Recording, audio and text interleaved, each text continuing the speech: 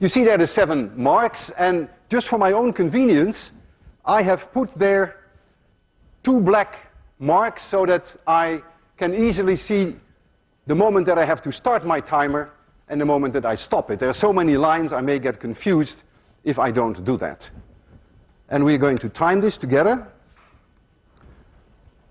And we'll see how these objects, how long it takes for them to go through. I will start with my 1 8 of an inch diameter. I have one here, tweezer.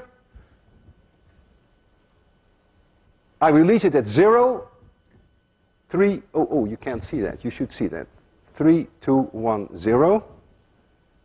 look how beautiful. It's working its way through. You see, it's building up.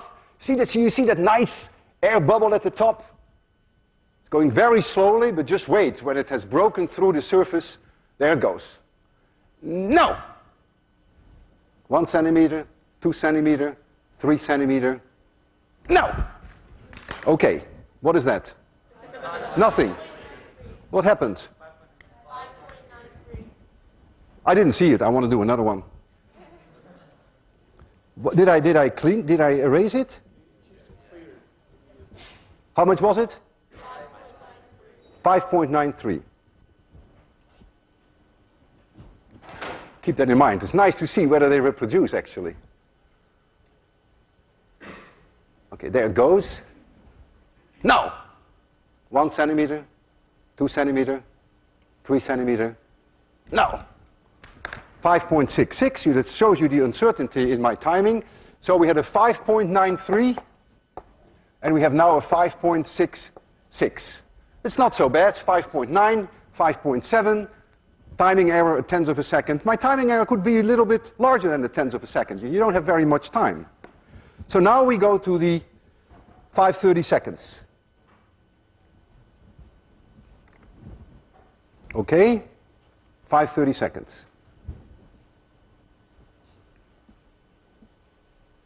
It takes some time to break through the surface, isn't that funny? Because a thin film has formed on the surface of the syrup due to its exposure to air. Wonderful. It lets us wait patiently, but now it goes. There it goes. Now, one, two, three, now. 3.80, is that what you have? It's going to be tougher and tougher for me. 3 sixteenths of an inch.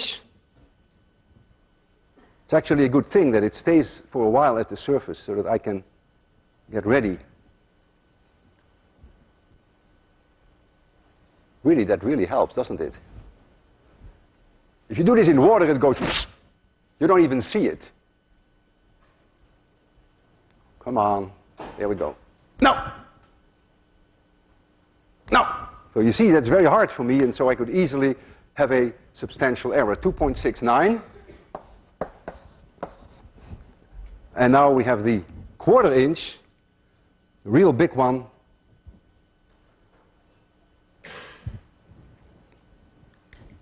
I have to do that again. I don't trust this at all.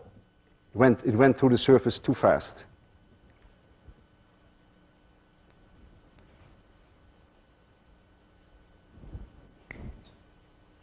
I can't do it very accurately. What was the first number, by the way? 1.68. And this is 1.40.